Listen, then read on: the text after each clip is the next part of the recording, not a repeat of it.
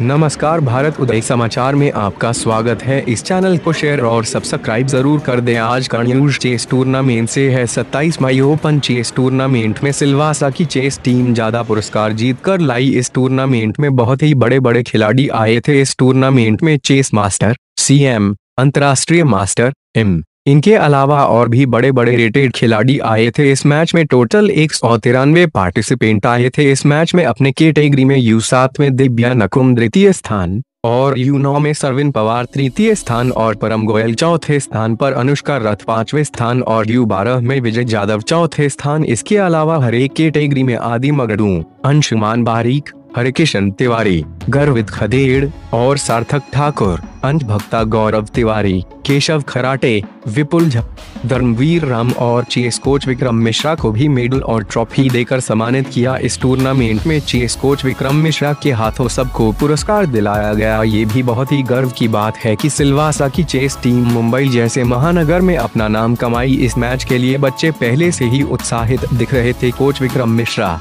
की अगुवाई में बीस बच्चे मुंबई जाकर पहली बार मैच खेलकर और ट्रॉफी लेकर आए। देखते रहे भारत उदय समाचार जय हिंद जय भारत।